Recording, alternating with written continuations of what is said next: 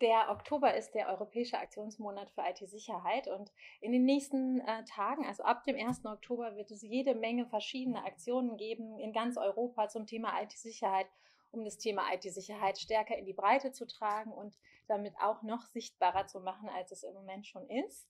Ähm, an der TU Darmstadt beteiligen wir uns daran und wir werden vom Profilbereich für IT-Sicherheit, SciSec und äh, mit dem Gründungsinkubator Startup Secure Athene viele verschiedene digitale Formate ähm, präsentieren.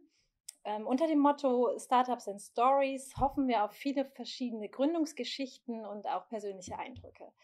Mein Name ist Elena Dröge, ich bin die äh, Geschäftsführerin vom Profilbereich für IT-Sicherheit und ähm, ich habe heute die Freude, den ersten Talk am Mittwoch zu moderieren mit Peter Buchsmann. Hey Peter. Hallo.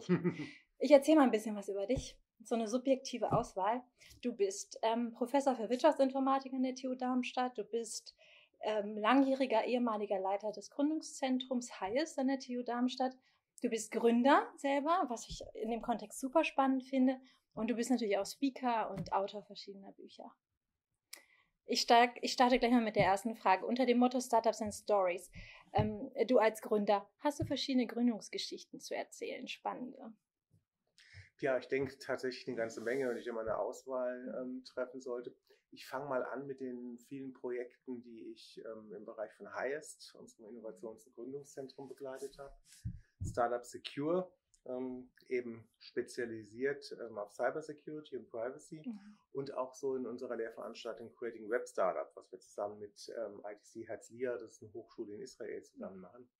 Und da kann ich immer wieder nur sagen, es ist wahnsinnig interessant und spannend, äh, mit den jungen Gründerinnen und Gründern zusammenzuarbeiten. Ähm, gemeinsam auch an den Geschäftsmodellen zu feilen. Ne? Also wir hier an der, an der, an der TU sind natürlich ähm, haben einen ordentlichen Technikfokus auch. Ne?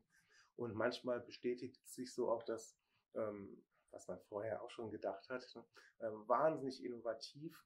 Aber wenn es dann an so Dinge geht wie Kundenorientierung, wen adressiere ich denn, genau. wie sieht denn mein Preismodell aus? Ähm, Marketingkonzept. Marketingkonzepte. Es macht wahnsinnig Spaß, ja. Ähm, da zu helfen. Und mhm. ich denke auch, da haben wir in den letzten Jahren wirklich viel, viel vorangebracht. Ähm, Manchmal muss man sich aber auch selbst an die eigene Nase greifen, wenn man an die eigenen Gründungen denkt, ähm, was man dafür was man da für Fehler gemacht hat. Also ich, ich selbst habe zweimal gegründet, du hast es ja angesprochen. Mhm. Einmal war es ganz erfolgreich, da konnten wir das Unternehmen dann an einen finnischen Investor verkaufen, wo man auch wahnsinnig viel lernt. Und das andere, das war so ein Beispiel dafür, wie es daneben gehen kann. Mhm. Ja, und dann kann man sich natürlich als Professor hinstellen und den, den Gründern sagen, ja, denkt an das Geschäftsmodell was wir damals gemacht haben und äh, richtig auf die Nase gefallen sind, ähm, das war die, der Aufbau einer Musikplattform. Mhm. Und zwar einer Musikplattform für Indie-Music und für unbekannte cool ne? Künstlerinnen und Künstler. Genau, mhm. es sollte cool sein, es war auch cool. Und ähm, die, die Musiker, die Bands haben, haben tatsächlich auch ihre Stücke abgeloadet auf diese Plattform, weil sie selbst ja, nicht so eine Vertriebspower hatten. Und jetzt kam eigentlich der Clou an unserer Geschäftsidee. Wir wollten nicht 79 Cent oder 99 Cent pro Download ähm, nehmen. Wir haben gesagt, lasst uns mal ein, ein ähm, freiwilliges Preismodell machen. Okay. Also jeder, der sich was runterlädt, kann einen beliebigen ähm, Betrag an diese mhm. Band, an diese Künstlerin, Künstlerin praktisch spenden. Und ähm, ja, ich hätte auch nicht gedacht, dass sowas für, keine Ahnung, Springsteen, Madonna und die ganzen Superstars funktioniert. Mhm. Aber ich dachte, wenn es weniger bekannte Künstlerinnen und Künstler sind, ja. dass man da doch eher so ein, das Herz praktisch hat, ja, ja ähm, und nicht sagt, okay, ähm, ich, ich hole mir das jetzt, lade mir das jetzt runter mhm. und dann, ähm, und dann, dann bin ich weg sozusagen. Mhm. Wir hatten wirklich eine signifikante Anzahl von Downloads okay. und kein Mensch hat, hat bezahlt. bezahlt. Hm? Also das war auch insofern okay. eine ganz spannende Erfahrung. Es gab, gibt ja, das gibt es ja häufiger, ähm, auch so ein Berliner Restaurant gibt es ja. Genau, einige. das ist die Winery, glaube ich, oder so. Das ähnlich. weiß ich jetzt gar nicht, aber ja. es gibt es gibt's genau in Berlin. Und da soll das angeblich funktionieren. Ich war schon da. Aber, aber die Sache hat, hat, natürlich einen, einen großen Unterschied. Ähm, wenn du da sozusagen ähm, diesen äh, Mitläufereffekt machst, also so nach dem Motto, du, du isst und zahlst nicht, dann musst du am Kellner oder Kellnerin vorbei. Das ist natürlich mega peinlich. Ne? Und so ein ähm, persön persönliches Thema auch dann. Ne? Man mega, wird so sichtbar. Das ist mega genau. peinlich und du wirst ja, sichtbar. Ja. Während wenn du dann so einen Download ähm, entsprechend machst, ähm, dann kannst du, anonym. dann kannst du das anonym belassen genau. und, und, bist weg. Ja, das war so ein Beispiel, mal ein Negativbeispiel aus dem eigenen Leben, wo wir gedacht haben, es funktioniert, wir es aber nie so richtig ausprobiert haben ähm, und das bis zum Ende durchgedacht haben. Okay, vielen Dank für die Geschichte, Peter. Ähm, du, du forschst schon viele, viele Jahre am Thema Daten, zum Thema Datenökonomie und Privatheit. Ähm, und kannst du uns ein bisschen erzählen, was dich immer noch daran fasziniert? Ich denke, ich denke, dass das Thema Datenökonomie, ich übersetze mal, ähm, was, sind, was sind Daten eigentlich wert und ja. was kann man mit Daten eigentlich machen, eigentlich das zentrale Thema der digitalen Transformation sind. Mhm. Ähm, deswegen fasziniert mich das, das mit der Relevanz für die Wirtschaft, für die Gesellschaft. Mhm. Und ähm, ich nenne dir einfach mal ein paar Beispiele. Also nehmen wir den ganzen Bereich Medizin. Mhm. Wenn ich ähm, Daten habe, von Patienten, über Patienten, wenn ich vielleicht deren Krankengeschichte ähm, mhm. kenne und die Informationen da, da kann ich natürlich wahnsinnig gute Schlüsse draus ziehen, wie wirksam ein Medikament beispielsweise ja. ist, ähm, wie erfolgreich verschiedene Operationsmethoden mhm. sind und so weiter. Mhm. Also ein wahnsinniger Wert und die Beispiele lassen sich wirklich beliebig fortsetzen. Du kannst mit Open Data Projekte kannst du Verkehrsinfrastrukturen planen, Fahrradwege planen, ähm, du kannst Sportler ähm, messen beim Training und beim Wettkampf und daraus Schlüsse ziehen. Also ein mhm. irrer hoher Wert, mhm. den die Daten haben. Nicht nur wirtschaftlich, auch für die mhm. Gesellschaft, nimm das Medizinbeispiel. Aber wir haben natürlich auf der anderen Seite das Thema Privatsphäre. Ne? Und kein Bereich ist so ähm, privatsphäre-sensitiv wie der, äh, wie, wie, der medizinische mhm. Bereich. Ne? Und ähm, dass wir da aufpassen müssen, ist ziemlich klar. Aber es ist auch nicht ganz so trivial. Ähm, ich war zum Beispiel neulich, habe ich gesprochen äh, mit dem Chefarzt einer Uniklinik in Hessen. Ähm, hatten wir eigentlich so gesprochen über das Thema Datenanalysen, künstliche Intelligenz. Ne? Was kann die KI helfen bei der Diagnose von Krankheiten? Mhm. Und dann hatte ich nochmal das Thema Privatsphäre angesprochen. Ne? Mhm. Dann dachte ich so sinngemäß, ja, ja, jetzt kommt natürlich das, was wir alle denken, so nach dem Motto, ja, Privatsphäre ist natürlich das Wichtigste ja. überhaupt oder mit das Wichtigste. Ne? Das ist ja auszubalancieren, dieser Wert von mhm. Daten und die Privatsphäre. Aber er sagte, ähm, Herr Buxmann, ja und nein. Mhm. Da bin ich natürlich hellhörig geworden. Also, warum, warum sagt er jetzt nein? Mhm. Ja. Und dann hat er gesagt, naja, er hätte eben eine ganze Menge von schwerkranken Patientinnen und Patienten. Und was machen die? Die stellen ihre Laborberichte, ihre Befunde und alles das, was sie haben, stellen sie ins Netz. Ja. In der Hoffnung auf letzte Hilfe. Und okay. wörtlich sagte er, das sind die Menschen, die sich das Thema Privatsphäre nicht mehr leisten mhm. können. Mhm. Und dann sind wir zu solchen Themen gekommen, ähm, wie beispielsweise Datenspenden. Ne? Also wenn Menschen ihre Daten spenden würden, ähnlich wie wir Blut spenden, für die medizinische Forschung, mhm. dann könnte das natürlich auch wahnsinnig wertvoll sein. Absolut. Und was wir im Rahmen ähm, von einem größeren Forschungsprojekt hier mit SciSec-Wissenschaftlern, mhm. mit Athene-Wissenschaftlern machen, ist vor diesem Hintergrund auch die Entwicklung von solchen sogenannten ähm, Privacy Enhancing Technologies, mhm. die eben dabei helfen sollen, dass wir diese Daten nutzen können, also den Wert aus den Daten rausholen können, aber gleichzeitig ähm, diese Privatsphäreverletzungen verhindern, mhm. indem die Daten so pseudonymisiert, anonymisiert werden, dass man sie eben für diese Zwecke nutzen kann. Mhm. Also ich denke, eine wahnsinnig ähm, spannende ähm, Fragestellung für Wirtschaft und die Gesellschaft. Und der Trade-off, den du beschreibst, also der, der Wert der Daten steigt, ähm, der, der Wert der Privatheit sinkt. Ne? Ähm, würdest du in, speziell, in bestimmten Zusammenhängen, würdest du den auch jetzt aktuell ähm, auf die, auf die Corona-App beziehen können? Also kann man das darauf mhm. runterbrechen? Ja, also zu, zunächst mal, es muss ja nicht sein, dass dann Privatsphäre runtergeht. Deswegen werden ja diese Privacy Enhancing Technologies mhm. entwickelt, mhm. dass wir das möglichst mhm. optimal ausbalancieren. Die Frage mit der Privacy, äh, mit der ähm, Corona-App ist gut.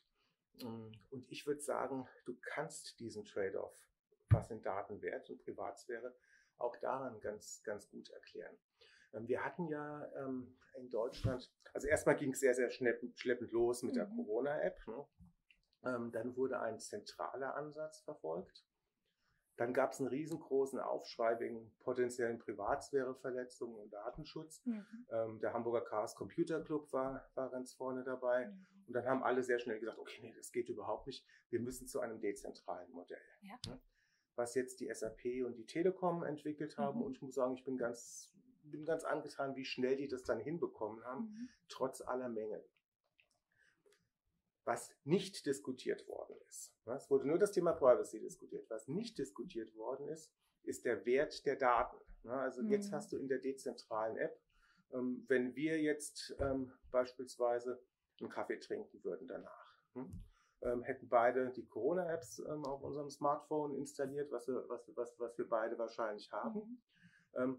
Dann würde die Corona-App, wenn einer von uns beiden positiv getestet würde und wir das angeben würden, hm, würden wir dann eine Mitteilung bekommen, hey, Elena oder Peter, du warst übrigens mit jemandem zusammen, der positiv getestet worden ist. Mhm. Das ist im Grunde genommen der Nutzen der App. Ja.